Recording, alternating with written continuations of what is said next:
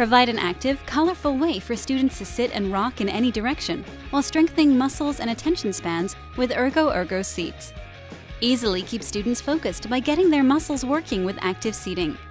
These unique seats compress slightly to allow continuous small movements in all directions, improving balance and concentration in the classroom. Made of durable plastic that will last for years, these chairs are available in vibrant colors to give an energetic look to your classroom.